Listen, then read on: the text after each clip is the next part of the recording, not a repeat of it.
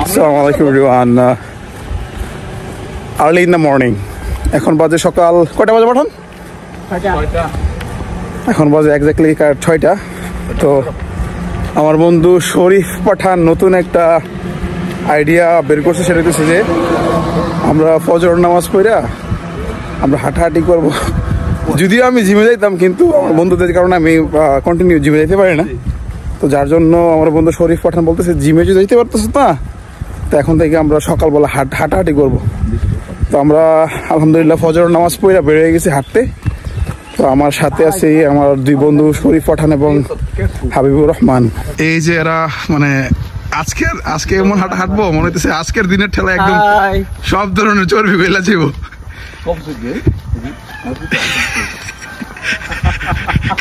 কালকে নিয়ে আবার না আসস? আসব ইনশাআল্লাহ। নামাজ পড়লে অবশ্যই আসব। তো এদের এদের যে স্পিড স্পিড দেখে আমার কাছে মনে হইতেছে না এরা যদি কন্টিনিউ করতে পারে এক সপ্তাহ তাহলে হয়তো এটা আর আহ, এক সপ্তাহ না আরও দুই তিন মাস চলবে যদি এরা কন্টিনিউ করতে পারে আর কি। তো নিয়ে আমরা দেখি কত দূর যেতে পারে ওরা। এবং ফজর নামাজ পড়ে হাঁটাটা খুবই স্বাস্থ্যের জন্য ভালো। কারণ ফজরের সালাতের সময় যে অ্যাটমসফিয়ারটা থাকে না এই অ্যাটমসফিয়ারের মধ্যে কিন্তু মুনাফিকদের। কোনো দুর্গন্ধ বা কোনো নিঃশ্বাস বা প্রশ্বাস থাকে না। তো নিয়ে গাইজ আপনারাও আমাদের মতো হাঁটতে পারেন আপনারা একটা রুলস মেনটেন করতে পারেন যে ফজর নামাজের পরে সার্টিন টাইম হাঁটাহাঁটি করবেন। তো এই টাইমটা বেস্ট মানে একদম ছয়টা থেকে একদম সাতটা পর্যন্ত। It's a perfect time for walking আর একটা কথা হলো যে এখন কিন্তু মানে শীতের মাত্র শুরু। চারিদিকে কত কুয়াশা। অনেক কুয়াশা হয়েছে কিন্তু। কিন্তু এটা কিন্তু মানে আপনার ডিসেম্বরের দিকে কিন্তু এত কুয়াশা থাকে। কিন্তু এখন এখন মনে হচ্ছে যে ডিসেম্বরের আগে অনেক শীত চলে আসে। সকালবেলা যায় স্পেশালি সকালবেলা ঘুম থেকে ওঠেন, তারা হয়তো এটা পর্যবেক্ষণ করতে পারছেন।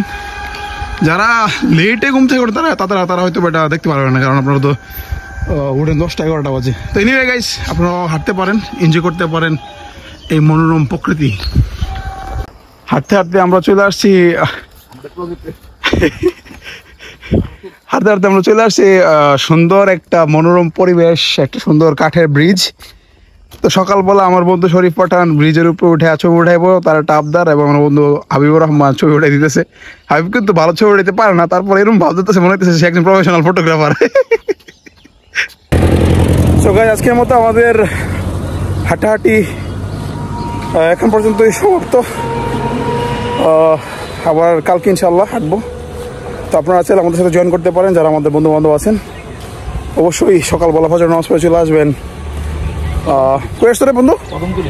কদম তুলি হসপিটালের সামনে। চলে আসলে তখন আমরা এখান থেকে একসাথে বের হব আর কি ঠিক আছে? Okay thank you very much thank you very much for watching guys দেখা হবে অন্য কোনো ব্লগে তখন আপনারা ভালো থাকুন সুস্থ থাকুন। আল্লাহ হাফিজ আসসালামু আলাইকুম।